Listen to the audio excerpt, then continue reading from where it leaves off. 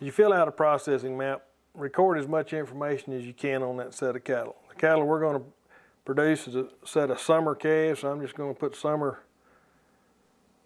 calves here in the group, the date that you'd process the cattle, just as many things as you can write down, write down. If they are identified by some means, record that, uh, whether it be a series of numbers or if they're not identified at this point in time, put none there or leave it blank. It's not something that's critical to to uh, put down there. The reprocess date on these cattle would be relative to one of the vaccines that we're going to be utilizing. It's just 21 days from now.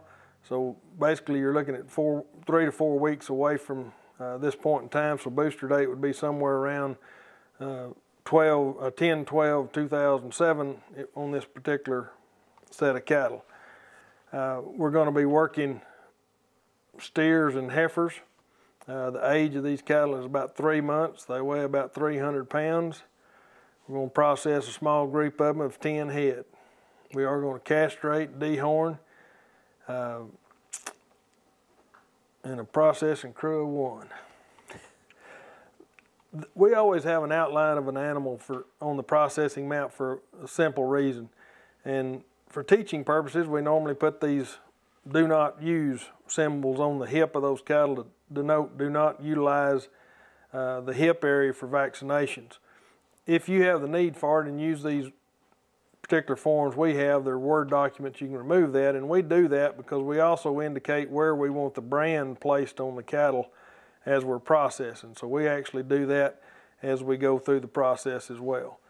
As we look at the products we're going to use, we're going to use a Clostridial vaccine. You want to take a look at that product and see what the serial number is and what the expir expiration date is on that product and record that on your processing map. So as we look at this and the lot or serial number on this particular product is 0960691B.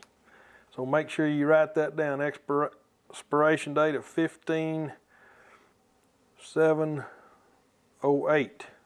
This product, if you refer to the uh, label on this product, is a 2 mil subcutaneous injection. So that rather administration is going to be sub-Q. Dose is going to be 2 mils and needs to be boosted at 10, 12. What's the withdrawal period on this particular product? If you refer to this, it has a withdrawal period of 21 days before slaughter. So for this processing that we're going to be doing right now, withdrawal date is three weeks from today. Uh, if we do come back in booster, the withdrawal date will then be 21 days from that booster date.